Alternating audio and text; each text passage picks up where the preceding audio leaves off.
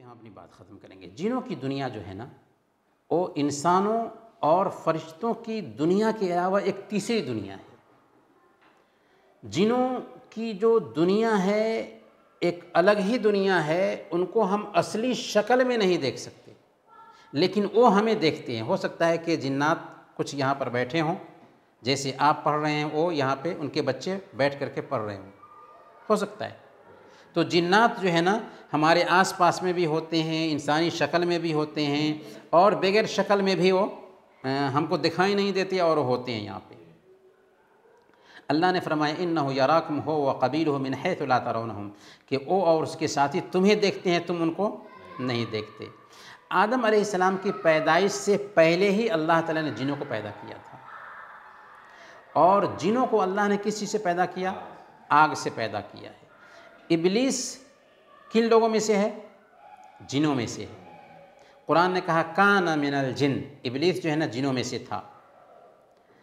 अलबत्ता वो फ़रिश्तों के साथ रहता था, अल्लाह की इबादत करता था, फिर जब फ़रिश्तों को सजदा करने के लिए कहा गया तो इबलीस ने सजदा नहीं किया, धुतकारा गया।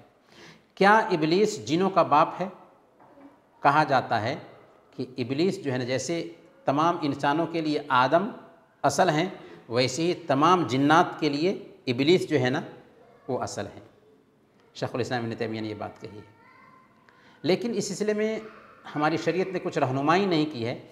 इसलिए जिनों के पहले बाप के बारे में खामोशी बेहतर है। कौन उसका पहला बाप है? खामोशी बेहतर है। लेकिन शख्ल तैमिया ने यह कहा कि जैसे इंसानों के बाप आदम हैं, वैसे ही जिनों का जो बाप है, वो इबलीस है। जिन्नात जो है ना, खाते पीते हैं इसीलिए अल्लाह के नबी सल्लल्लाहु अलैहि वसल्लम सन्नत तिरमिदी की रवायत के मुताबिक बयान फरमाया कि हड्डी और लेद से इस्तिंजा मत करो क्योंकि ये तुम्हारे भाई जिनों का खाना है।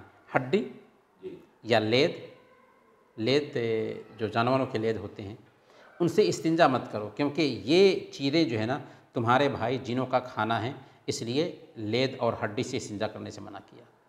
जिन्नात शादी ब्याह भी करते हैं। उनके पास बच्चे भी होते हैं।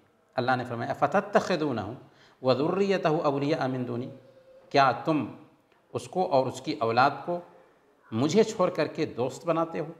तो इससे पता ये चला कि जिन्नात के पास औलाद भी होती है और शादी ब्याह भी करते हैं। सारे जिन्नात पैदा होते हैं और मरते भी हैं।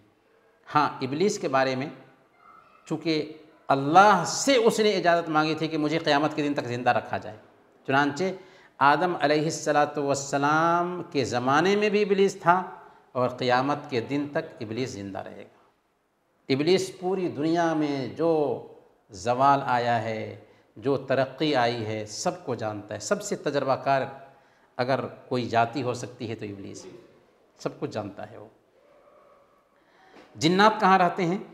जिन्नात इसी धरती पर रहते हैं, जहाँ पर हम बसते हैं। अलबत्ता ज़्यादातर जो गैर आबाद जगहें होती हैं, वहाँ पर जिन्नात रहते हैं। जंगलों में, चटियल मैदानों में, उसी तरह गंदी जगहों पे, जैसे बाथरूम में बाथरूम में जिन्नात रहता अल्लाह ताला ने जिन्नात को अजीब ताकत दी है।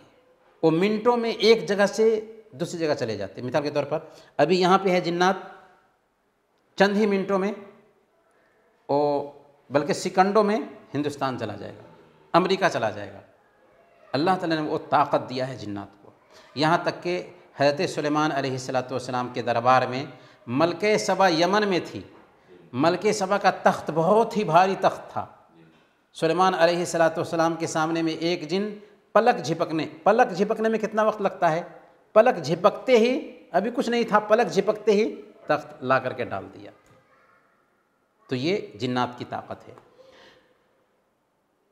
कभी कभार जिन्नात जो है ना, इंसान के बदन में भी दाखिल हो जाते हैं।